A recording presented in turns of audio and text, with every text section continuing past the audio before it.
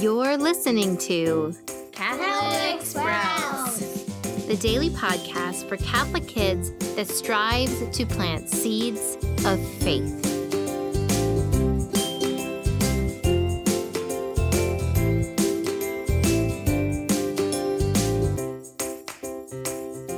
There, Sprouts. Today is Monday, October 19th, 2020.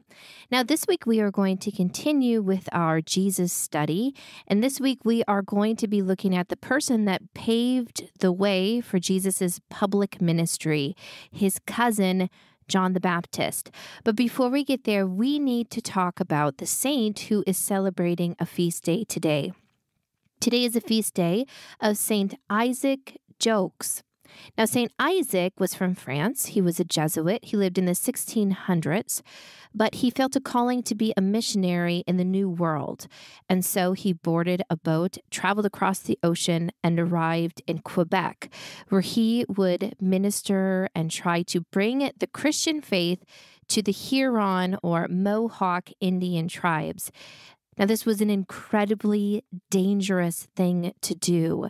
Not only were the Indians not necessarily interested in the Christian faith and resentful of missionaries, but they were also constantly at war with each other. Nonetheless, St. Isaac set out to win souls for Jesus. He went to live among them.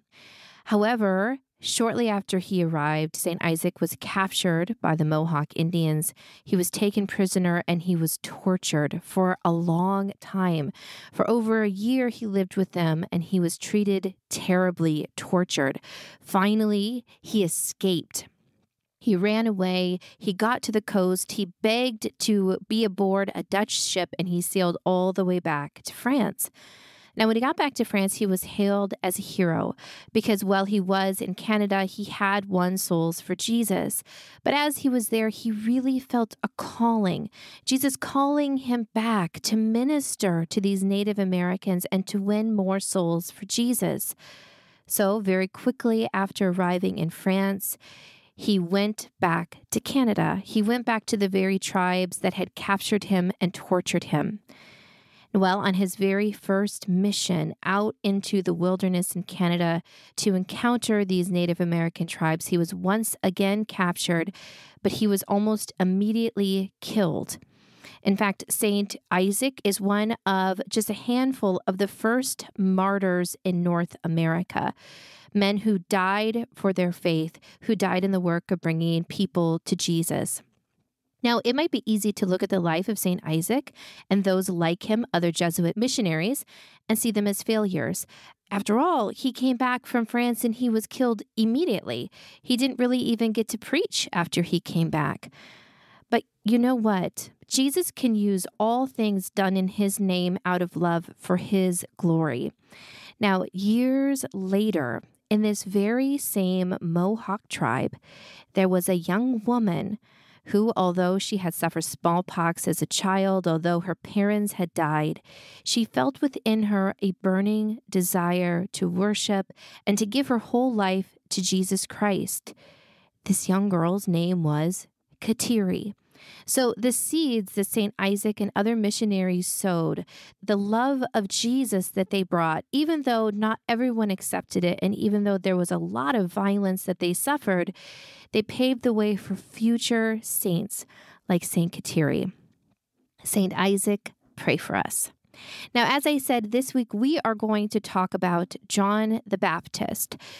In the, le- the little bit of time that we have left today, I just want to set the scene for all of this. Now we hear that John the Baptist was living in the wilderness.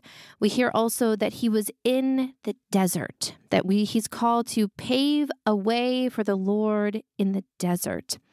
So let's talk about what Judea or the country of Israel, what that area was like. Well, it was very different and very in the different parts.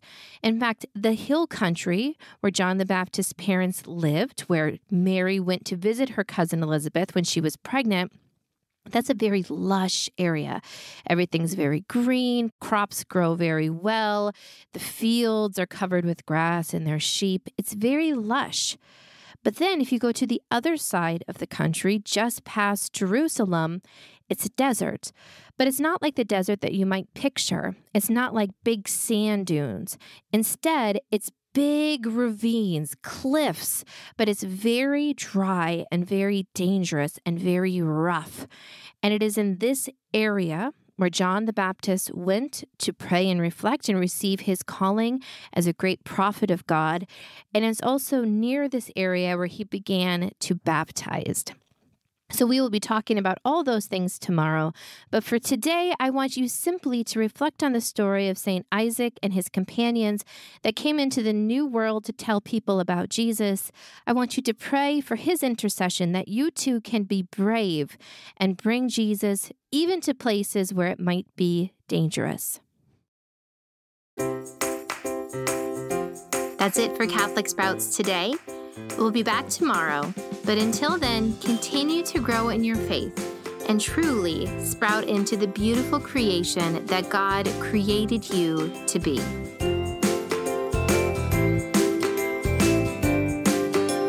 Just one more thing we are running a really fun sale on our Rosary board books and our Saint patterns for cross stitch and melty beads.